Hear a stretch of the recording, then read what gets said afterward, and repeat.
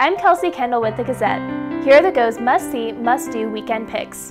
Family-friendly and ghosts? Yep, the two can exist in harmony. Eat the Ghost comes alive in Museum of Dreams at the Millibo Art Theater. The show is Saturday and Sunday at 7 p.m. Love of Theater is really going to engage you with this production.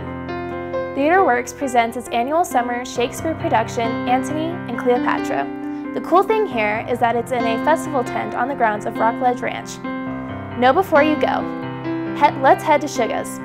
Our Robin Intemann gobbles up what she believes is a menu that is simple yet inspired. So much to do in the Go's must-see, must-do section for this weekend. So go to it in the Gazette and Gazette.com.